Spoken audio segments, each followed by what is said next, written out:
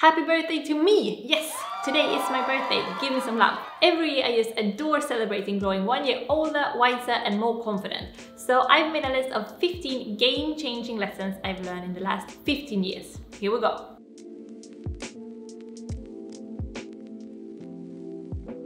Tidying up is never a waste of time. There is no place like London. I would severely recommend, if you don't feel at home in the city or town where you live, to go find your own London. Adopt a new home. It's totally possible. We are all deeply selfish people with deeply selfish motivations. That doesn't mean that we're evil, it just means that we all have our own personal agenda and goals. And that's okay, as long as we acknowledge and respect other people's personal agendas too. When God was in her best mood ever, she gave us tofu. Reading novels isn't just a way to kill time or entertain ourselves or escape reality. Reading novels is a way to understand ourselves better and to connect with the world. Stories have always been a way for us humans to kind of make sense of this confusing mess of a life and to make it less scary. And it's by far the best way to satisfy an over-curious brain. Nothing makes us use our imagination more than reading fiction, I would argue. Fear causes fear, hate causes hate, and love causes love. It's a total cliche, but boy is it true. So be careful what you put out there. I used to think that we humans are all more or less the same. We're not. Oh man, we're so bloody different from each other. There are a lot of people out there who drive me mad, who I just can't understand or communicate with. Doesn't mean that there's something wrong with them. Doesn't mean that there's something wrong with me. Just means that we're different as hell. Makes the world a more interesting place. And more frustrating. But totally fun.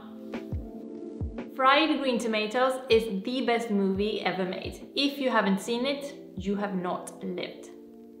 It's pointless to be scared of failure. We all fail at tons of things all the time. Worrying about it won't help. On the other hand, when we do fail, learning from our mistakes is one of the best ways to grow as a person and become more skilled, more interesting, and more clever. If you never fail, you miss out on the best learning experience of your life. Don't underestimate the power of physical pleasure. Good food, a back rub, a relaxing stretching session, a hot shower, or my personal favorite, a proper thigh massage. If you're having a hard time or a bad day, step one is physical pleasure. The quickest way to a happier everyday life is, in my opinion, to treat your body well. Eating a shit ton of fruit and veg is a way to chemically help your brain to be happier, plus it makes you feel good about doing something for the planet and everyone on it. It's called mood food for a reason.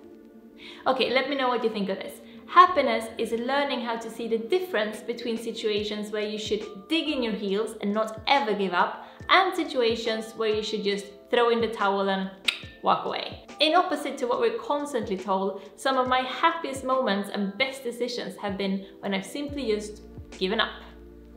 Another day God was in a really good mood, she gave us Terrace House. Seriously, if you haven't watched the best ever reality show on Netflix, you need to get on this. We will never ever ever feel beautiful as long as we keep pointing out all of our flaws to ourselves. If you find someone as glorious as David, you sink your teeth into them pronto and you never let go. Trust me on that one. You haven't forgotten, right? That it's your girl Jenny's birthday today. Here's what I want as a present from you guys. I mean, if you're offering. David and I love our podcast, The Mustards. Those of you listening already know what a fun and supportive and loving community has grown around that podcast. And we want more of you to hang out with us every Monday morning, starting the week out in a happy and positive way. I will leave a link to one of our most appreciated episodes about being the sensitive, strong personality type, like I am. Seriously, so many of you have messaged me about this episode, so thanks to all of you who are listening every week and getting involved. That's it for me. Time to go celebrate champagne and strawberries and making out with David. That's the plan. You in, babe? Yeah.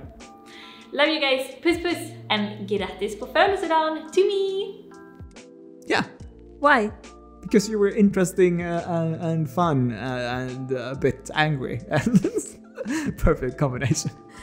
Exactly how you want your women. exactly. Interesting, fun, and a little bit angry. yeah. Boy did you get more than you bargained for, David. I did. Fucking and hell. he regretted it to this day.